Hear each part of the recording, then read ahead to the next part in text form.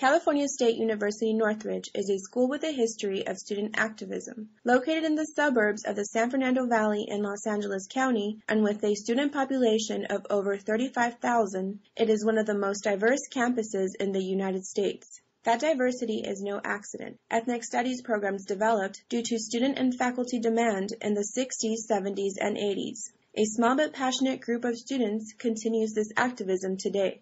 Julissa Reyes reports. Uh, yes, uh, is Chancellor Reed there? Yeah. Junior and Central American Studies major Osvaldo Ortiz was one of the student demonstrators occupying the University Administration Building at CSUN on April 13, 2011. These students were in protest of proposed budget cuts by the Cal State University Board of Trustees as well as the CSU president Charles Reed.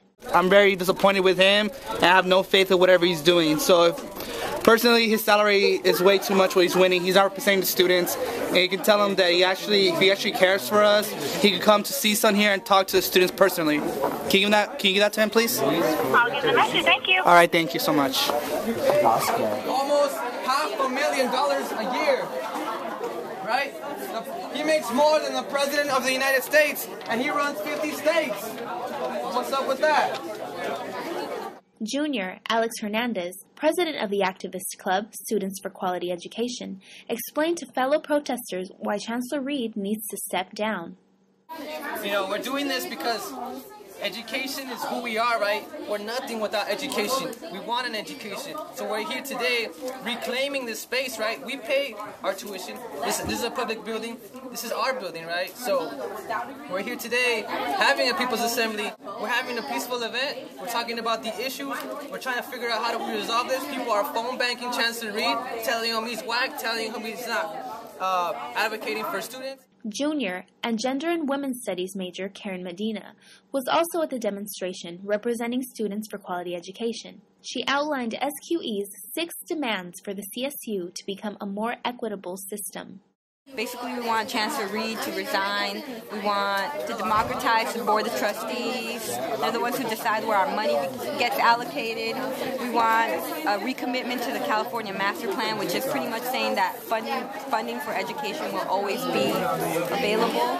We want fair contracts for faculty and staff. We want funding to go to education, not administration. We want a full transparency. We want to see where our money is going. To the people, power to the people, people power, people power, power. Ana Miriam Barragan. I'm a deaf studies major and a psychology major, and I'm a sophomore. I'm here because I have some demands, and I'm a AB 540 student, so it's really hard for me to pay tuition and uh, pay for books and uh, other things because we don't get financial aid from the government. So I'm here protesting and demanding Chancellor Reed to resign because he's the one who makes the decisions for where the money goes in education. He's definitely not for the students, and he's not representing uh, the students' needs. Raimundo Hernandez expresses himself through his artwork. He wants others to see beyond his art and listen to the message he is trying to convey.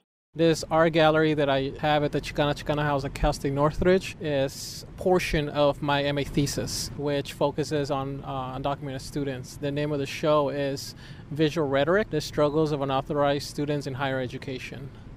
I consider myself an activist through my artwork. The importance of political art, it creates awareness, it educates people, and it sends out a very strong message. Freshman and kinesiology major Jasdeep Sethi is the vice president of the CSUN Hip Hop think tank.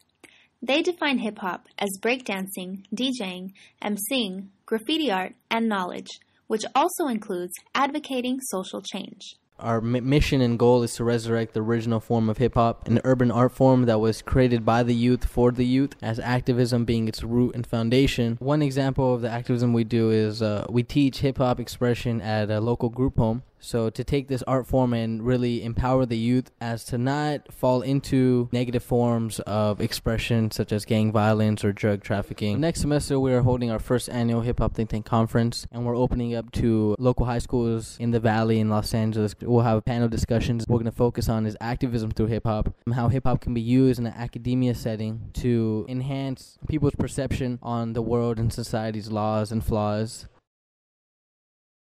LGBTA Vice President Carly Johnson talks about the importance of the group on campus. There's been some sort of LGBT organization on this campus since about 1972. This year in particular, we had a lot of people come up to us and say, I'm gay. I didn't know there was a gay club on campus. We like to offer a social environment. We do weigh the political and the social, but what we offer is just a place to come and find like minded people and feel safe and accepted on campus as a queer person.